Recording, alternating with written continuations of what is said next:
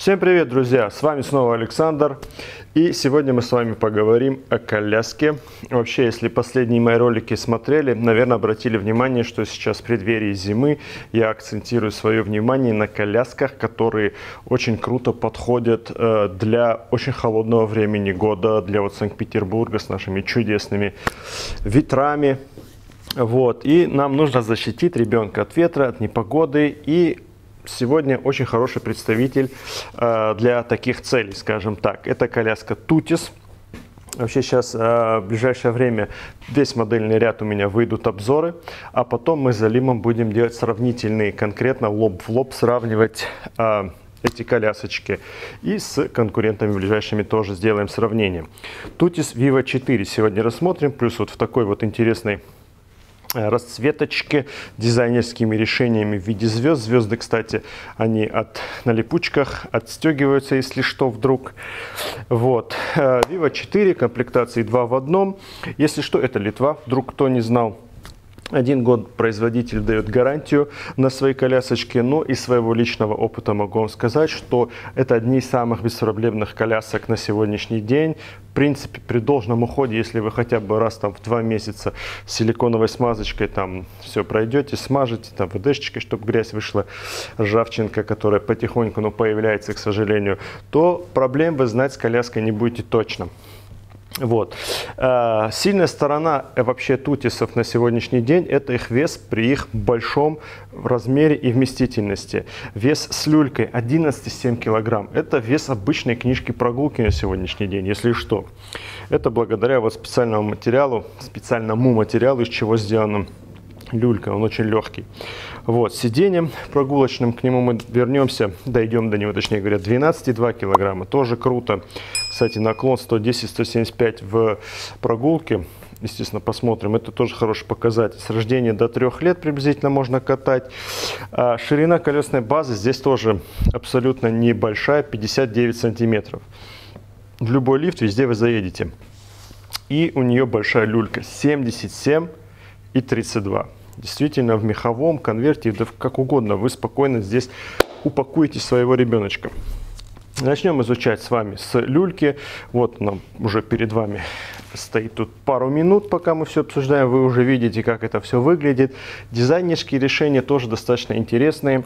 Э, это вообще вот Limited Edition расцветка, если что. Снизу у нас вот такая золотистая основание э, отбитое, если я не ошибаюсь, это эко-кожа. Все приятно, дорого выглядит. Сверху просто материал. Материалы классные, мягкие, приятные, гладенькие.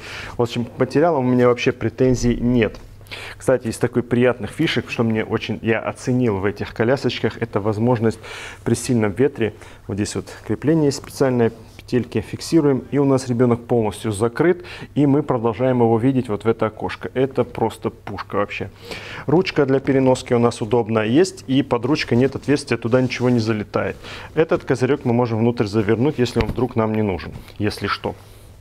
А что мне еще нравится, то что э, вот эта вот накидочка на ножке, она на замочках, мы с двух сторон вот так оттянули, и попали к ребеночку. А сама она еще дополнительно магнитиками вот сбоку фиксируется, вот, чтобы вот верхняя часть, она не заваливалась никуда. Все, вот таким образом мы попадаем к ребеночку. Все, вы заметили, что я нажал одну кнопочку, не две сразу, и спокойно этой же рукой подтолкнул козырек, и он ушел. И посмотрите, здесь внутри тоже все в звездочках, все круто выполнено, ткани классные, можно приподнять вот эту спиночку, чтобы ребенка полу посадить, так скажем, когда подрастет. Матрасик достаточно прикольный, толстенький, мягенький. В общем, очень уютная гнездышко у ребенка, поэтому все окей. В общем, к люлькам вообще никаких претензий у меня никогда не было у этого бренда поднимаем, есть небольшие щелчки. Если мы держим кнопку при этом, щелчков никаких нет. Поэтому если кто-то боится, что там ребенка напугаете, не напугаете. Все хорошо. Смотрите, еще можно вот здесь вот сделать вот так. Открыть и здесь спокойно проветривать. Вот таким образом все это выглядит. Так, давайте я сейчас сниму, посмотрим на основание кнопки с памятью, с эффектом памяти. Из минусов нет ножек, друзья. И это все вот нежный материальчик, которым все как кожа бита, можно поцарапать. Поэтому кладите аккуратненько. Желательно на асфальт не опускайте. Вот так вот потихонечку я положу, чтобы не повредить. Так, пришло время прогулочного блока. Прогулочный блок, друзья, естественно, реверсивный. И можно и по ходу, и против хода ставить. Естественно, как без этого? Когда два в одном, это в 99% случаях именно так и происходит. Так, сумочку, мы к ней вернемся. Пока просто посмотрим блок. Так, опущу как раз на те 170, 170, по-моему, градусов, 175 градусов. Посмотрим с вами на козырек. Козырек тут, друзья, очень большой. Подножечку так можно опустить. Вот, давайте сразу посмотрим. Вот такая вот накидочка, очень большая накидка на ножки, естественно, тоже вся непродуваемая и тому подобное. Снизу внахлест она одевается на подножку и полностью закрывает ребенка также вот с этим бортиком.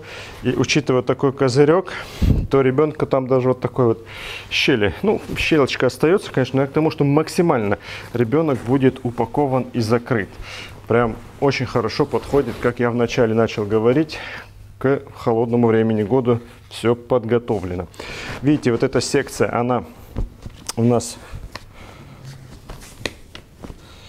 она у нас здесь вот на замочке фиксируется. Если нужен большой, то открыли. Не нужен такой огромный, просто фиксируем, закрываем, точнее говоря, его и все. Так, а, по козырьку понятно. Из-за того, что мне не нравится, вы видели сейчас, чтобы козырьком воспользоваться, мне пришлось нажать эти кнопочки. Ну, хотя бы как в люльке сделали бы с одной стороны. Ну, видимо, какие-то технические в этом есть сложности. Я этого не знаю. Вот, соответственно, козырек у нас большой, регулируется, все окей. Вот, 175 градусов мы лежим и 110 сидим. Да, 110 сидим, а 110 сидим это прекрасный угол наклона, такая капитанская посадка, сильно спинка не завалена. В общем, ребенку здесь отлично. В комплекте мягкий матрасик вот такой вот, я бы вообще никогда не убирал, не мешает, но мягче. Пятиточные стандартные ремни, мягкие накладки на паховой и на плечевой зоне. Вот такая вот перемычечка есть э, на бампере, чтобы если вдруг вы не пристегнули, ребенок не проскочит. Все окей. Бампер здесь, соответственно, тоже ВК-кожа. Сейчас я эту кнопочку найду. Кнопочка, ты где? Вот она ты. Вот, смотрите, перемычку надо будет убирать, чтобы как калиточка откинуть бампер. Бампер тоже ВК-кожа, как и ручка. Ну, к ручке сейчас мы придем. Можно откинуть, чтобы посадить ребеночка. Регулируется подножка у нас вот таким образом. Здесь тоже эко-кожа. И наверное, бы я сделал здесь какой-нибудь прорезиненный материал. Здесь все в угоду дизайну, эко-кожа, тому подобное. Это не эко-кожу делать, но там бы, где ножки, ботинки, я бы делал что-то прорезиненное, чтобы это все не портилось. В общем, как-то так. Видите, вот зря хочу поправить, и нужно обязательно кнопочки нажимать. Ну, такое себе решение. Так, смотрите, давайте посмотрим, что за рама у нас такая. Кстати, вот здесь есть э, липучечки для вот этих звездочек. Спокойно сюда можем это все прикрепить. Все-таки такие дизайнерские решения. Вот, а, смотрите, что касается ручки. Ручка регулируется. Регулируется она у нас вот таким вот способом. Диапазон широчайший. На любой рост можно подобрать. Даже вот какой-нибудь старший, там, пятилетний ребеночек сможет помогать вам катать своего маленького брата или сестренку. В общем, с рамой все окей. И хочу еще отметить э, эти коляски Viva, вот эта серия вся, э, Уны, Luxury 4 и тому подобное. И вот это, они очень мягкие. Здесь стоят амортизаторы. Вот здесь также их можно отрегулировать э, по жесткости. Э, э, это регулируется простым способом, поворотом и снизу тоже. Тем самым зажимая чуть-чуть и остается меньше ход. И она таким образом становится жестче. Но очень мягкая колясочка, прям вот очень. Так, что касается передней оси, они всегда чуть жестче делаются, фиксируются. Все, вот таким вот образом. В общем, супер. Колеса у нас просто резиновые, мягкие, тихие. Камер нет, вы ничего не проколите. Багажник здесь выполнен э, тоже из эко-кожи. Все дорого-богато. И он у нас закрывающийся. То бишь накидали, и можно там все это спрятать, закрыть. Так, тормоз, друзья. Самый четкий, классный тормоз. Ставим на тормоз сверху же. Причем, видите, я мизинчиком могу это делать. Очень легкий э, тормоз. Поэтому тормоз тут вообще топчик. Не ковыряйте обувь. Колеса здесь очень легко снимаются одной кнопочкой. Передний также. Это для обслуживания будет очень актуально, чтобы продуть, э, ВДшечкой пролить, потом силиконовой смазочкой смазать. И горе знать не будете с коляской в принципе вообще. Так, давайте теперь посмотрим, э, как колясочка складывается, потому что это у нас э, достаточно важный момент, друзья. Смотрите, что нам для этого нужно. Вообще, я всегда рекомендую в таких крупных колясочках отдельно блок сложить, э, раму и потом уже блок опускать. Но давайте попробуем, вот, например, по ходу движения. Против хода я уверен, что она так не сложится, но сложим ее вместе с прогулочным блоком по ходу движения. Смотрите, здесь вот такие курки и сверху на них кнопочки. Отжимаем и, соответственно, опускаем. Вот таким образом. Опускаем подножечку. Бампер можно, соответственно, скинуть. Вот так вот. Это максимально компактный вариант, чего мы можем с вами здесь добиться. Соответственно, э, можно, в принципе, отстегнуть прогулочный блок, но в данном случае мы не выиграем в пространстве, потому что он, по сути, в это же место и встанет. Поэтому так вот нормально можно складывать с прогулочным блоком. И, собственно, естественно, она не карманная, она большая коляска, но она при этом легкая. В общем, разобрались, как она у нас складывается.